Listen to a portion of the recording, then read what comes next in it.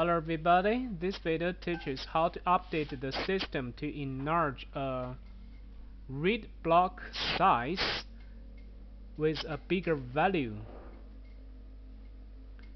Let's go to check the current value before the system update. It's from 1 to 128 sectors. That means we read 128 sectors each block, each time. So how to input a larger value? Now this video shows you the easiest way, that's the automatic method to update the system.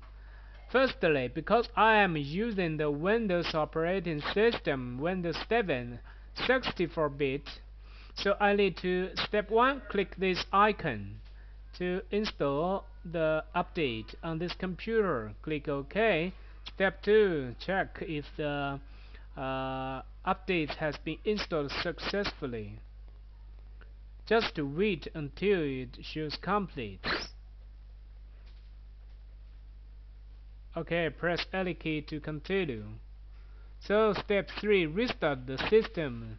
Restart the system and users will find uh, if the PC system has been updated successfully.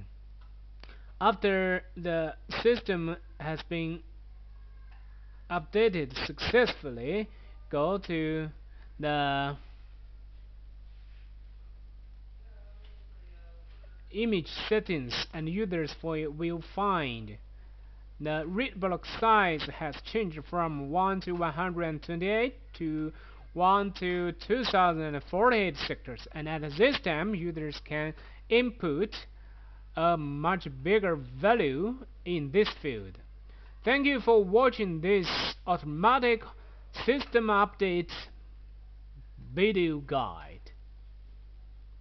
Any more question is welcome to sales at dolphindatalab.com.